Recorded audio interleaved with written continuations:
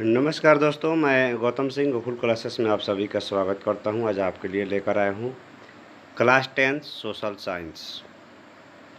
25 25 question का मैं आपको मॉडल सेट बनाया हूँ। दो सेट आपको पिछले वीडियो में मिल जाएगा, ये तीसरा सेट है। निम्नलिखित में कौन नवीकरणीय संसाधन है? तो दोस्तों, आपको हम बता दें, लॉ आयस्क जो है नवीकरणीय संसाधन है। यहाँ पर हमारा आंसर जो होगा वो आपका डी नंबर होगा।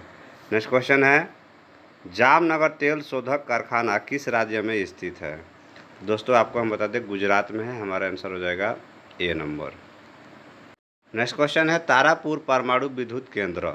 तो तारापुर परमाणु विद्युत केंद्र जो है, आपको महाराष्ट्र में है। आपका आंसर हो जाएगा बी नंबर। किस देश की सीमा बिहार से जुड़ी हुई है? तो नेपाल का, हमारा आंसर हो जाएगा ए नंबर। निम्न में से कौन खरीफ की फ़सल है? खरीफ फ़सल कौन है इसमें? तो धान खरीफ फ़सल है, रबी फ़सल, गेहूँ है आपका। नेक्स्ट क्वेश्चन है, भारत में कोयले का सर प्रमुख उत्पादक राज्य कौन है? तो झारखंड है, हमारा आंसर हो जाएगा बी नंबर। नेक्स्ट क्वेश्चन है, भारत में सर प्रमुख चावल उत्पादक राज्य कौन है? तो पश्चिम बंगाल है, हमारा आंसर होगा ए नंबर। नेक्स्ट क्वेश्चन है, परिवहन के साधनों में सबसे सस्ता परिवहन का साधन कौन है? जल है, हमारा आंसर हो जाएगा बी नंबर।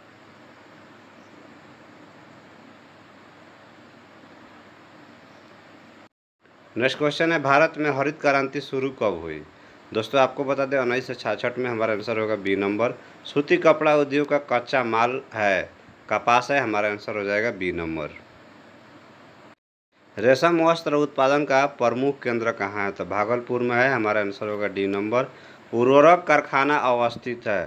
तो दोस्तों, आपको हम बता दें, बरौनी में हमारा आंसर हो जाएगा ए नंबर नेक्स्ट क्वेश्चन है निम्नलिखित में कौन रबी फ़सल है? तो रबी फ़सल आपका गेहूँ है, हमारा आंसर होगा सी नंबर। पूर्व मध्य रेल मुख्यालय कहाँ स्थित है? तो हाजीपुर, हमारा आंसर हो जाएगा सी नंबर। नेक्स्ट क्वेश्चन है, कहलगांव तापीय विद्युत परियोजना है भागलपुर जिला में। निम्नलिखित में खनिजों में कोडरमा किससे संबंधित है? दोस्तों, आपको बता दें अवरक से हमारा आंसर होगा बी नंबर। नेक्स्ट क्वेश्चन है, बिहार की किस नदी की उत्पत्ति अमरकंटक से हुई है? सोन, हमारा आंसर हो जाएगा सी नंबर। निम्न में से कौन कृषि पर आधारित नहीं है? सीमेंट उद्योग, हमारा आंसर हो जाएगा डी नंबर। नेक्स्ट क्वेश्चन है, लॉ एस क्या है? तो लॉ एस जो है, अनवीकरणीय संसाधन है, हमारा आंसर होगा बी नंबर। प्राकृतिक गैस पाई जाती है तो प्राकृतिक गैस पाई जाती है आपको खनिज तेल के साथ, हमारा आंसर होगा सी नंबर। नेक्स्ट क्वेश्चन है, निम्नलिखित में से कौन एशिया का सबसे बड़ा परमाणु शक्ति केंद्र है? तारापुर, हमारा आंसर हो जाएगा ए नंबर। निम्नलिखित उद्योगों में से कौन सार्वजनिक क्षेत्र से संबंधित है?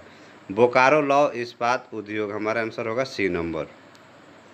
क्वेश्चन है, फाल्टा विशेष आर्थिक क्षेत्र कहाँ स्थित है? उड़ीसा में है, हमारा आंसर होगा डी नंबर। सुनामी शब्द किस भाषा से लिया गया है? जापानी से, हमारा आंसर हो जाएगा डी नंबर। लास्ट क्वेश्चन है, निम्नलिखित में से कौन प्राकृतिक आपदा है? तो भूकंप जो है, प्राकृतिक आपदा है यहाँ पे, आपका आंसर हो जाएगा बी नंबर।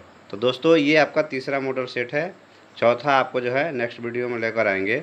दोस्तों, यदि चैनल को सब्सक्राइब नहीं किए हैं तो प्लीज़ चैनल को सब्सक्राइब करें और बेलाइकन प्रेस कर दें ताकि अगले वीडियो का नोटिफिकेशन आपको मिलते रहेगा।